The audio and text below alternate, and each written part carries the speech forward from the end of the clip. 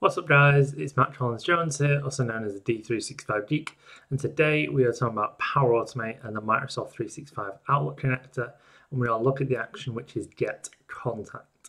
So Get Contact allows you to pass in the details of a contact and have it return uh, the, the card details to you, so things like telephone number, email address, etc. So let's take a look at it. So I'm in Power Automate here, I have a, a trigger, which is when an event is added, updated, or deleted. We're actually not going to use this trigger, we're just going to run it manually, but we just need a trigger here. Now, the next step is create contacts. Now, one of the things that I actually need in my uh, in my in my action is the ID of a contact. So, just for testing purposes, I am putting I'm creating a contact called Wally West in here with a telephone number and we're just going to use this to pass it uh, through to the next action. So to click on New Step. expand this list and I'll look for the Office 365 Outlook connector, sometimes known as a Microsoft 365 Outlook connector, and then I'll scroll down until I get to Get Contact. So Get Contact V2.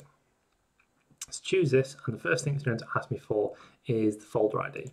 So where, which folder are we in? So you can have multiple folders for your contacts. I just have a single folder called contacts. And then the next thing it asks me for is the item ID. So in this instance, I can use a bit of dynamic content and choose the ID this way. I think there may be alternate ways to get IDs, maybe through the Microsoft Graph or some other method. This is just kind of a, a, a video to show you what this action does and how it works.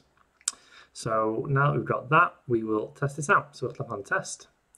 We'll run it from a previous run. So we'll run this one from seven minutes ago. Click test. And we can see we've got green ticks all the way down here. So it's all good. So we can click on get, uh, get contact v2 and we can see we've got some information here. So the item ID we put in is the same one here. The display name and the given name are the same thing because we didn't specify a specific display name um, in here. I think it's not a display name, given name. Uh, so yeah, it just duplicates it as you do that. Um, we don't have an email address, didn't put that in. Uh, we have a home telephone number, which I did put in. No business phone, but we've got some of the fields here. We've got uh, parent folder ID, so what's the parent folder of the contact that you're in? Um, if you have folders of like companies and things like that.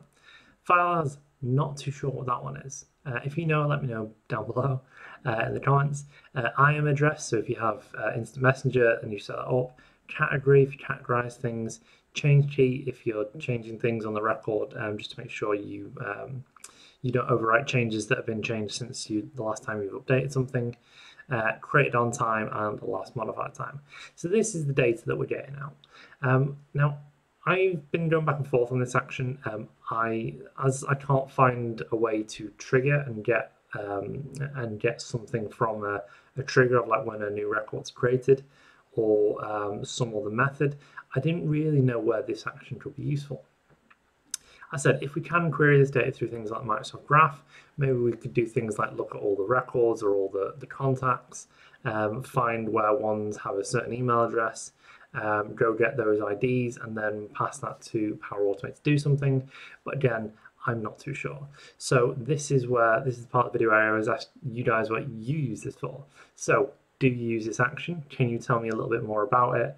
Uh, what you use it for, any business processes or anything else that you find useful um, to automate, that'd be really useful for me because I always love to learn new things and it's one of the reasons why I make these videos.